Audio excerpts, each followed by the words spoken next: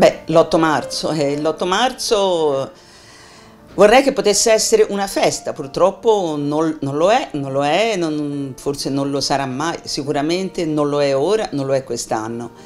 E è una, l'ennesimo giorno in cui ci si rende conto che noi come donne dobbiamo continuare a, a combattere e a tenere botta, per cui una festa. Boh. È un, è un giorno nel quale, come dire, abbiamo eh, l'attenzione anche dei, di, di tutti quanti sulla nostra esistenza. Ricordo che durante gli anni del liceo un mio compagno scrisse in un tema cosa farai da grande il naufrago e prese sei. Io avrei potuto scrivere, avrei dovuto scrivere l'archeologa perché c'è qualche altro mestiere?